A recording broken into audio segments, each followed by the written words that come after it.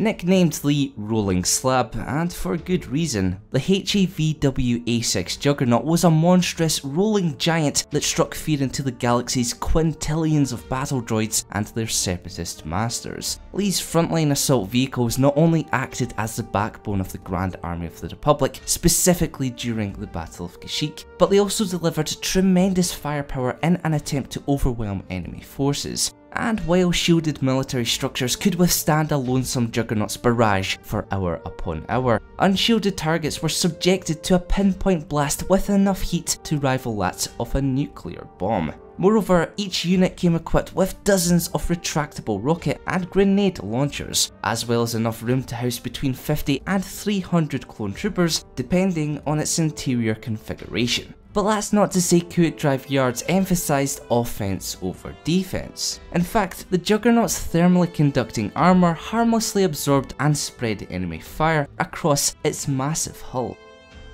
Despite utilising a graceless system from a seemingly prehistoric age, each of the Juggernaut's 10 wheels were pivotal to its success. Firstly, they consisted of three versatile, independently spinning segments, allowing the vehicle to traverse even the most inhospitable terrain all at speeds of 160 km per hour. Secondly, their direct ground contact also afforded the Juggernaut extra protection against electromagnetic attacks and shield discharges alike. Thirdly, by spanning a large area of 49.4 metres by 19.6 metres and thus reducing ground pressure, it became far less prone to sinking in soft soil than heavy walkers. Fourthly, juggernauts could stop and turn in a much smaller radius when compared to repulsor lift crafts. And finally, the wheels of the menacing tanks granted equally powerful forward and rearward motion. This, combined with its two cockpits, sparked many a debate amidst clone troopers as to which side of the vehicle was its front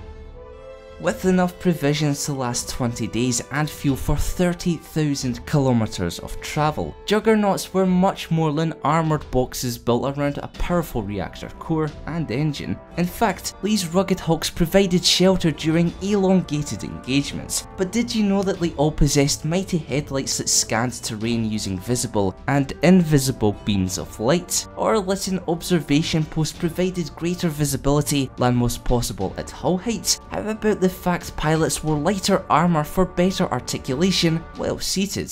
Finally, did you know that the Juggernaut made use of 12 crew members if you excluded gunners?